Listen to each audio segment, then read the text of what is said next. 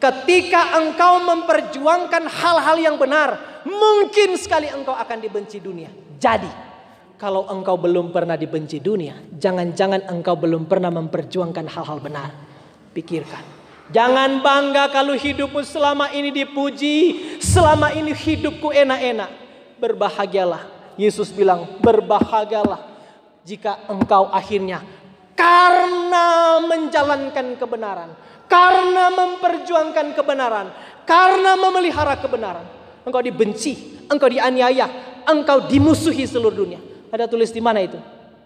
Matius 5 ayat 10. Coba baca. Kalau di ayat 11 apa? Berbahagialah kamu jika karena aku kamu dicelah, dianiaya dan kepadamu difitnahkan segala yang jahat. Berbahagia. Justru konsep Yesus membalik konsep dunia. Berbahagia itu kalau orang puji, kalau orang sanjung, kalau orang senyum-senyum. Nyanda. Yesus bilang itu bahaya. Engkau akan mati dengan itu mati dengan pujian, mati dengan sanjungan. Tapi Yesus bilang justru berbahagialah engkau. Jika karena kebenaran, jika karena memelihara kekudusan, engkau akan dibenci dunia. Nah apa-apa. Berapa banyak anak muda sekarang yang berani menegakkan kebenaran. Berani ditentang dunia. Berani dibenci dunia. Kita bilang saya menjadi pendeta yang menetapkan komitmen. Saya tidak akan sembah orang kaya. Saya tidak akan sembah pejabat. Taruhlah untuk itu saya dibenci, saya dimusuhi. Kalau engkau salah, engkau harus ditegur. Kalau orang miskin, dia benar, dia harus dibela mati-matian. Apa pun resikonya. Jadi kita bilang pada penyonya, mam, ya resiko peta nggak nasu terima tapi cinta, berarti mesti siap mengambil bagian dalam penderitaan. Pendeta model bagi model begini kita bilang kayak susah mau kaya. Karena apa? Nggak mau pergi sembah-sembah orang kaya.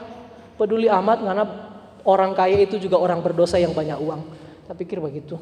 Orang miskin, ya dia juga butuh Injil. Sama kok, gak apa-apa. Yesus bilang, untuk apa engkau memperoleh seluruh dunia? Tapi engkau kehilangan nyawa. Tetap bersandar kepada Allah. Waktu engkau susah, waktu engkau dianiaya, waktu engkau menderita, waktu engkau hidup kudus, justru engkau akan dimusuhi dunia. Inilah ketidakadilan dunia. Orang jujur dimusuhi, orang benar dibenci. Tapi justru karena dunia adil, dunia membutuhkan firman, Dunia membutuhkan Injil.